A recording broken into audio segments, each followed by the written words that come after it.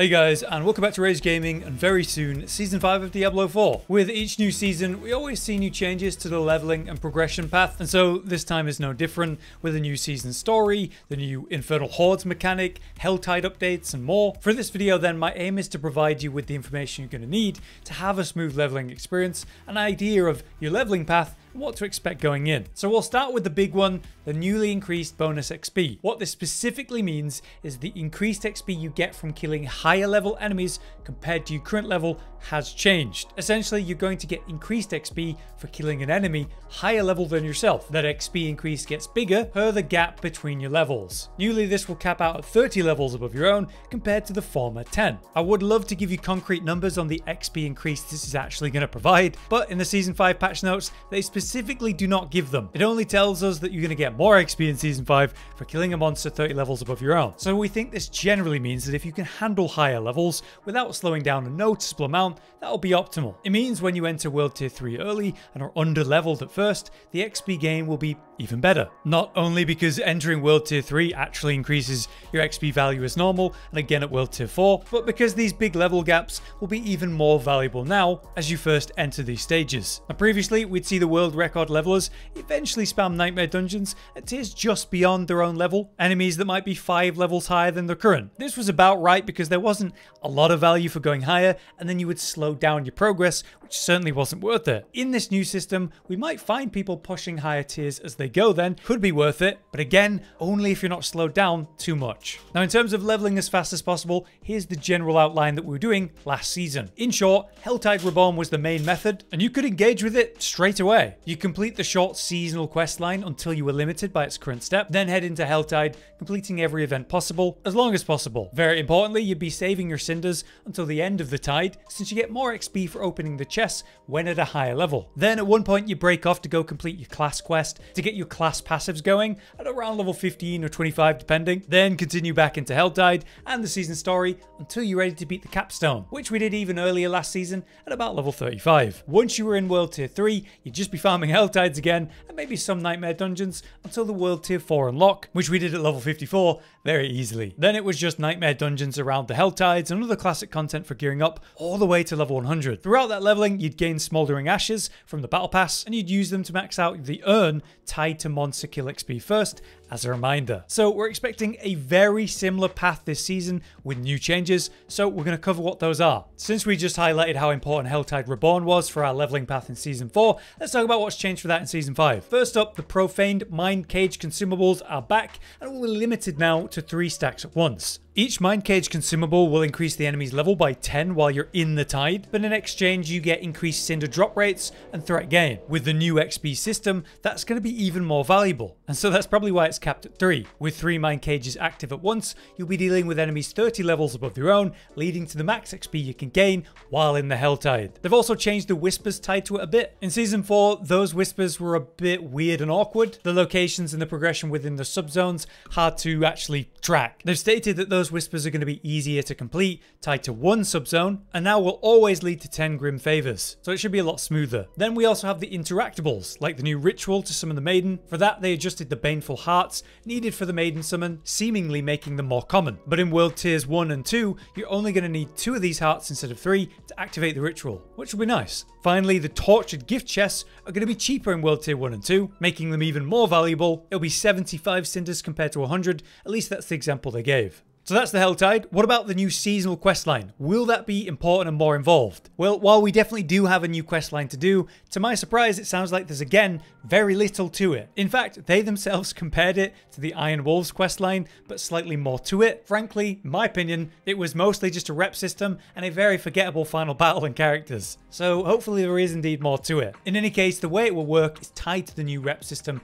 more specifically. It's been described as our journey back to hell to take on the infernal hordes. So hopefully it'll be cool, but how will it work differently? Here's what we know. The new rep system is going to be very familiar, but with some nice quality of life improvements. Our new rep system is being called the Mother's Gift, and fantastically, we can actually increase rep almost anywhere in the game. Instead of having to farm one specific type of content, like in Season 4, we were just in Helltide. Fine at first and for leveling, but long term in endgame when you had to reach max rep, it was a nightmare because you had to be in the Helltide for way too long. Hopefully with this change we can continue the grind most anywhere then without actually thinking about it. But also earning that reputation is more valuable too. Apparently earning rep will now grant experience to improve our leveling part, making the rep farm actually worth doing during the grind. Since we can progress it most anywhere though, it should just feel like we're getting more XP in general for playing normally. Now in terms of those new seasonal quests, they're going to be unlocked at stages during the reputation system rank specifically. Quest ranks are shown by the new green exclamation points when you're looking at the current reputation system. Overall though, it's the usual reward system otherwise,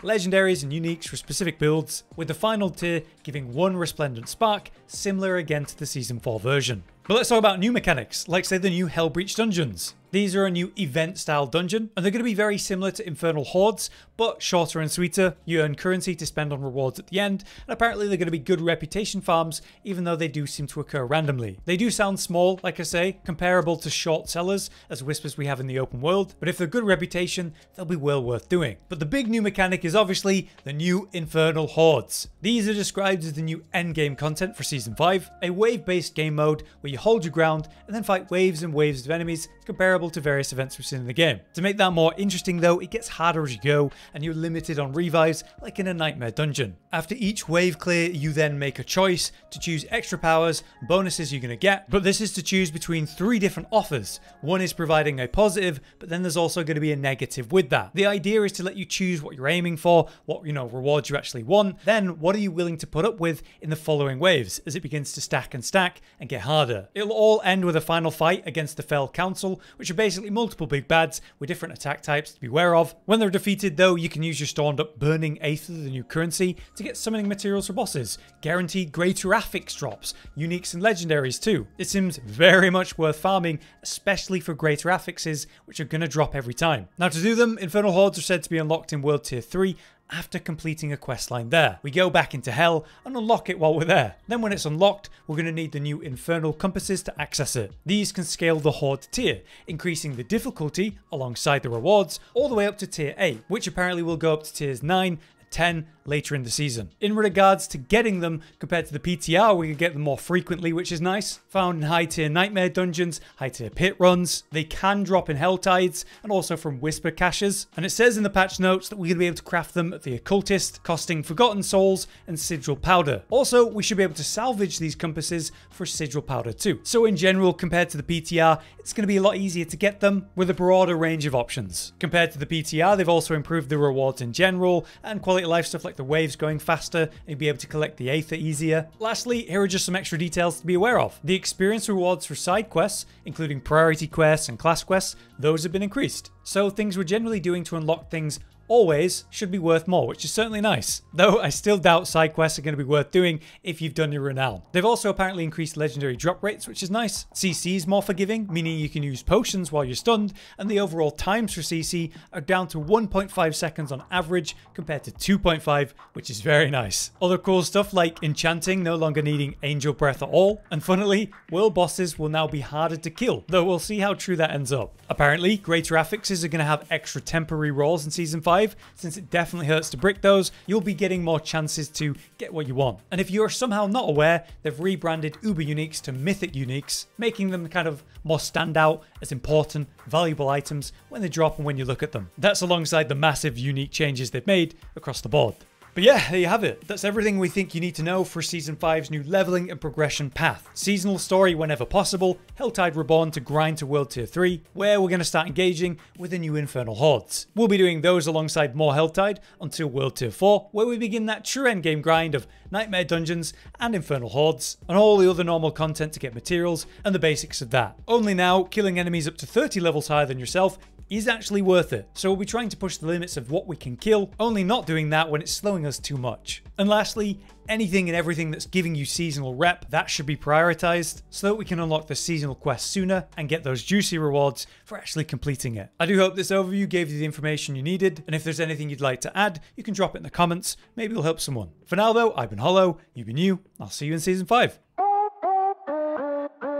Josh, Cotton, and Hollow with the videos, dropping the humor like a hammer on your tippy toes, bringing entertainment on a daily arrangement to take our insanity and turn it into entertainment. Yes, I said entertainment twice to reiterate that it is nice to look into your faces on a mostly daily basis when you let us in your homes to make the whole world a stage. Is Uh, goodbye.